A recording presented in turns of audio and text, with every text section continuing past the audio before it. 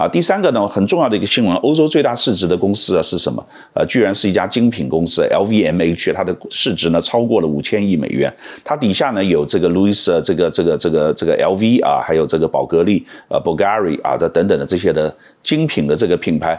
那为什么呢？主要是因为中国的市场，所以他们很多的去买这个中国的这个精品啊的。其他的就是说是最近呃今年我们看第四点啊，这个这个这个爱马仕啊 Burberry 啊这个呃开云啊这些精品股股价也表现的这个相当的好。这是欧洲第一家这个超过五千亿美元的市值的企业，所以非常的值得注意。那另外的这个重重点呢不是精品，重点在于中国市场啊。第三个呢重点呢在于经疫情的解封。